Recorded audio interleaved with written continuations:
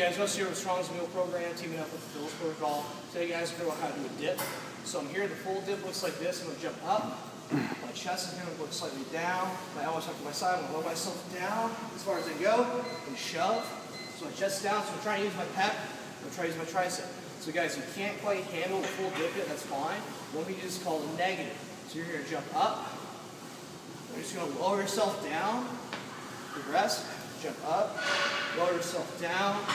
Relax. Jump up. Lower yourself down. Relax. That way you just get used to holding your body weight and going down, controlling yourself. Then it's getting stronger and stronger. So try to add that push in toward the end. Another variation, add chain weight. So it's too easy.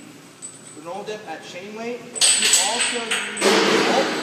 Have a weight loop around your belt. Any way you can put weight on yourself, make yourself heavy. So I'm here, elbows tucked to the side, down, down, down, and shove.